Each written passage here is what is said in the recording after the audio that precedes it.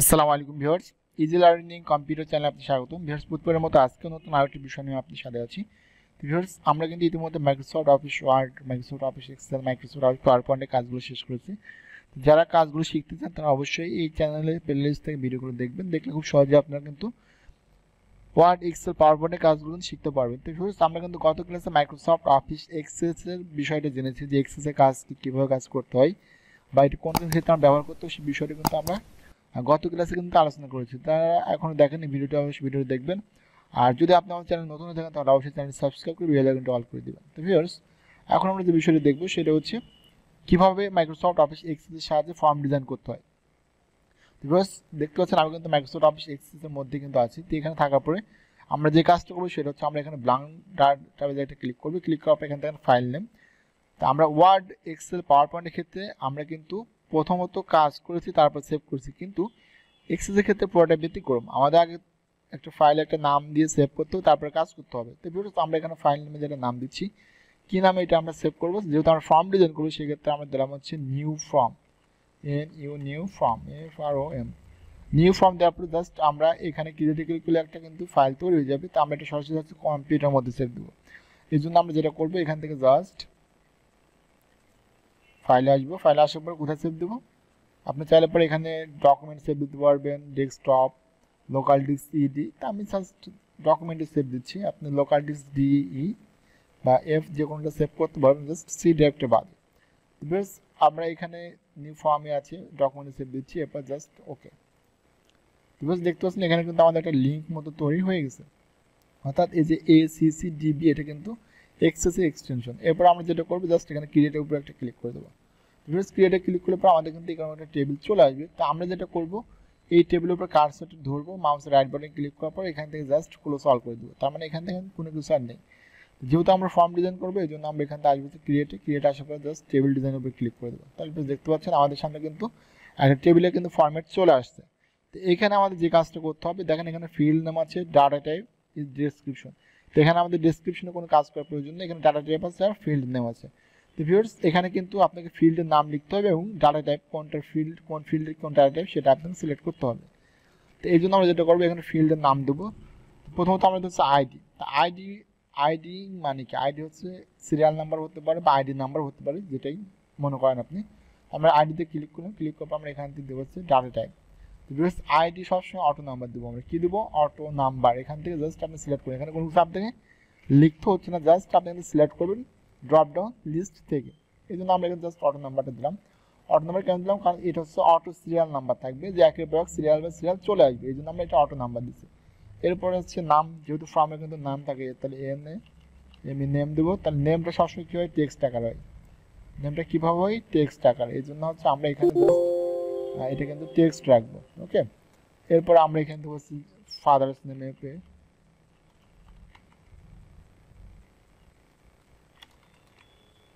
father's name, text.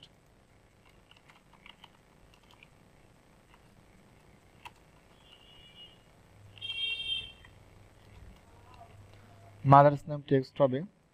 এরপর viewers মানে একটা ফর্ম যে যে বিষয়গুলো আপনি সেই সেই বিষয়গুলো কিন্তু উল্লেখ করতে পারবেন। তো ভিউয়ার্স আমি এখানে কিছু লিখে নিচ্ছি। সরাসরি লিখতে গেলে একটু ভিডিওটা লং হয়ে যাবে, এই জন্য জাস্ট আমি লিখে নিচ্ছি। বাকি আমি এটা বুঝাই দিচ্ছি আপনাকে। এবং আমাদের যে ডাটা টাইপ সেটা আমরা এখন আপনার সামনে ঠিক করব। তো ভিউয়ার্স দেখেন, আমাদের কিন্তু এখানে আইডি অটো নাম্বার দিয়েছিলাম, নাম, সাধারণ টেক্সট দেওয়া এই জন্য টেক্সট রেখেছি father's name text mother's name text এখন বোর্ড রোল তো ভিউয়ার্স এটা কিন্তু আমরা হচ্ছে একটা স্টুডেন্টের কিন্তু একটা ফর্ম একটা স্টুডেন্টের অ্যাডমিশন যে ফর্মটা থাকে, ওরকম একটা ফর্ম কিন্তু আমরা জাস্ট ডিজাইনগুলো আপনাকে দেখাচ্ছি। আপনি চাইলে কিন্তু ফর্মগুলো কিন্তু ভিন্ন রকম তৈরি করতে পারবেন। জাস্ট আমি আপনার নিয়মটা শিখিয়ে দিচ্ছি যে এই এই রকমভাবে কিন্তু আপনি ইচ্ছা মতো যে কোনো ধরনের ফর্ম কিন্তু ডিজাইন করতে পারবেন। তো ভিউয়ার্স ফাদার্স মাদার্স এবার হচ্ছে বোর্ড রোল অর্থাৎ যে স্টুডেন্ট ভর্তি হচ্ছে, তার বোর্ড রোল কত ছিল এসএসসি বা এসএসসি যে গ্রুপটাই হোক। তো এখানে হচ্ছে আপনি বোর্ড রোলটা এখানে দিয়ে দেবেন। বোর্ড রোলে কী হবে নাম্বার হবে? রেজিস্ট্রেশন নাম্বার এটাও নাম্বার হবে। নাম্বার দিবেন। এরপর পাসিং ইয়ার এটাও কিন্তু আপনাকে নাম্বার করতে হবে। নাম্বার ওকে এরপর বোর্ড বোর্ডটা সাধারণত টেক্সট হয়। সিজিপিএ এটাও আপনাকে নাম্বার দিতে হবে। নাম্বার বোর্ড টেক্সট হবে ডেট অফ বার্থ এটা হচ্ছে ডেট অ্যান্ড টাইম দিতে হবে। যদি সময়ের ব্যাপার সেবার আছে, আমরা ডেট অ্যান্ড টাইম দেবো। এরপর অ্যাডমিশন ডেট এটা আমরা ডেট অ্যান্ড টাইম দেবো। হুম? আচ্ছা এরপর হচ্ছে প্রেজেন্ট অ্যাড্রেসটা নাম্বার হবে পারমানেন্ট অ্যাড্রেস নাম্বার হবে ন্যাশনালিটি নাম্বার হবে রিলিজন নাম্বার হবে সরি এগুলো টেক্সট হবে present address text nationality text হবে রিলিজন টেক্সট হবে ফোন নাম্বারটা আমরা নাম্বার দিব। এরপর ইমেলটা টেক্সট হবে ফটোটা হবে অ্যাটাচমেন্ট ফটোটা আমরা কী দেবো? অ্যাটাচমেন্ট তো ভিউয়ার্স এখানে কিন্তু দেখেন আরও অনেক কিছু দেওয়া আছে। এগুলো কিন্তু আপনাদের বিভিন্ন সময় কিন্তু কাজে লাগবে। যে বিষয়গুলো আমরা স্টেপ বাই স্টেপ কিন্তু আপনাদেরকে বোঝানোর চেষ্টা করব। তো ভিউয়ার্স এখানে হচ্ছে অ্যাটাচমেন্ট দিয়ে দিলাম। তো ভিউয়ার্স এই হচ্ছে স্বাভাবিকভাবে আমাদের যে ফিল্ডগুলো লিখছি ফিল্ডগুলো ডাটা আমরা দিয়ে দিচ্ছি এরপর হচ্ছে আমাদের যে কাজটা করতে হবে আচ্ছা এটা আমরা একটু ডিলেট করে দিই। ডিলেট ওকে এরপর আমাদের যে কাজটা করতে হবে সেটা হচ্ছে আমরা এখানে জাস্ট আইডি উপরে একটা কাজ রাখব, রাখার পর আমরা এখান থেকে প্রাইমারিতে ক্লিক করব।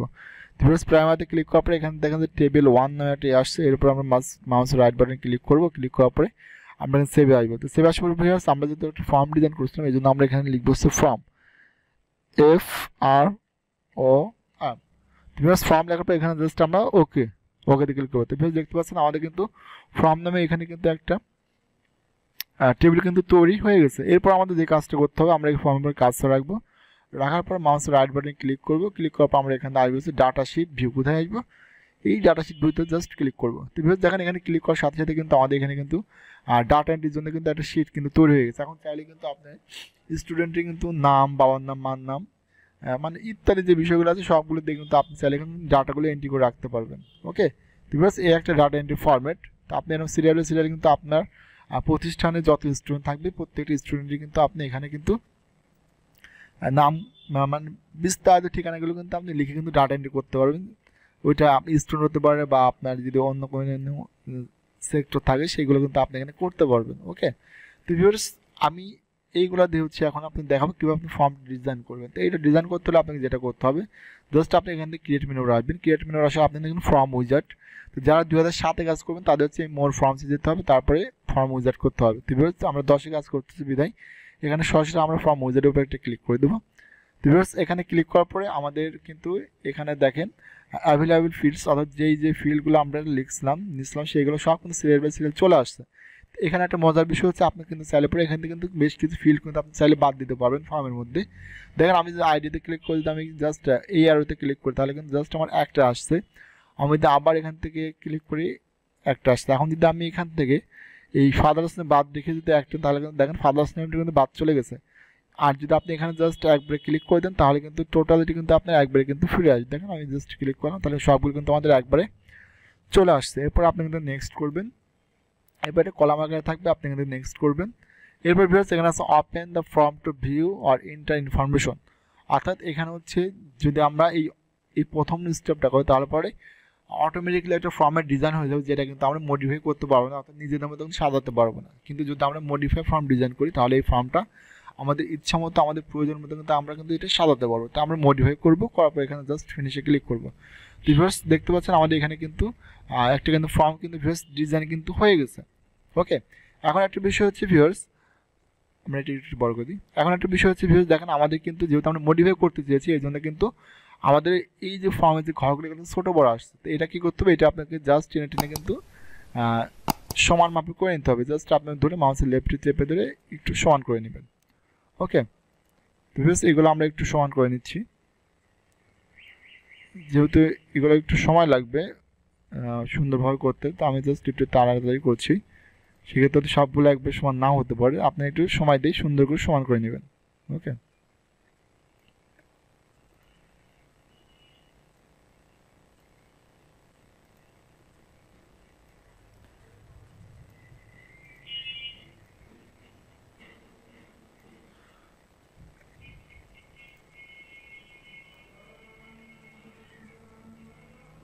ওকে ভিউয়ার্স এখন দেখতে পাচ্ছেন আমাদের কিন্তু মোটামুটি কিন্তু ভিউয়ার্স ফর্মটা কিন্তু ডিজাইন হয়ে গেছে। দেখেন, আমি যদি এটা ফর্ম ভিউ করে দেখি, আমি এখান থেকে জাস্ট আসব হচ্ছে ভিউ মেনু বার আসব। ভিউটা কোথায় আছে? এই দেখেন ডিজাইনে আছে, দেখছেন?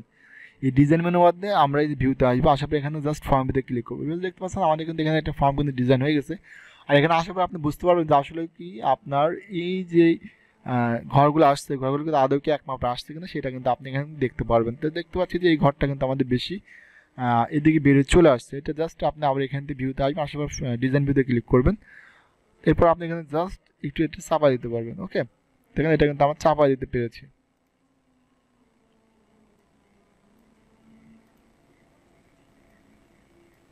আপনি আবার এখান থেকে আবার ভিউতে আসবেন, আসার পর ফর্ম ভিউতে ক্লিক করেন। দেখেন এখন কিন্তু মোটামুটি আমাদের কিন্তু সুন্দর করে ডিজাইনটা কিন্তু হয়ে গেছে। এখন একটা বিষয় ভিউর্স হচ্ছে যে এখানে ফটো লেখা আছে, আমি চাচ্ছি ফটো থাকবে না। এই জন্য যেটা করব আবার ভিউতে আসব আসার ফর্ম ভিউতে আসব। সরি ডিজাইন ভিউতে আসব আমরা এখান থেকে। ডিজাইন ভিউতে আসি এটা আমরা হালকা নিচে থেকে নামিয়ে নিয়ে আসব। আচ্ছা না, নিয়ে আসার পরে আমরা এইটা, যেখানে এইটা আছে আমরা এখানে জাস্ট ধরে এক সাইড উপরের দিকে নিয়ে আসে উপরে বসায় দেবো। ওকে এবার এখান থেকে হচ্ছে আমরা এটা মাঝামাঝি করে দিব ফরম্যাট ওকে এখন ভিউয়ার যদি আমরা এখান থেকে ভিউতে আসে, আশেপাশে ফর্ম ভিউতে আসে, তাহলে দেখতে পাচ্ছেন আমাদের এখানে কিন্তু একটি পিক্সেল অপশন চলে আসছে। এখন চাইলে এখান থেকে কিন্তু আপনি দেন অ্যাটাচ করে কিন্তু পিক্সেল এখানে অ্যাড করতে পারবেন। এখানে আপনি কিন্তু সব কিছু লিখতেও পারবেন। তো ভিউয়ার্স এখানে মনে করেন যে আপনি সব দেখেন, আমি যদি এখানে যদি ওয়ান দিই যদি একটা নাম দিলাম কে তাহলে দেখেন এখানে কিন্তু সিরিয়াল নাম্বারটা কিন্তু অটোমেটিকলি কিন্তু ভিউয়ার্স চলে আসছে। এরপর আপনি সব কিছু লিখবেন, লেখার পরে কিন্তু আপনি চাইলে সেভ করতে পারবেন। তো ভিউয়ার্স সেভ করতে হলে কিন্তু আমাদের হচ্ছে, এখানে কিছু বাটন কিন্তু ক্রিয়েট করার প্রয়োজন আছে। ওকে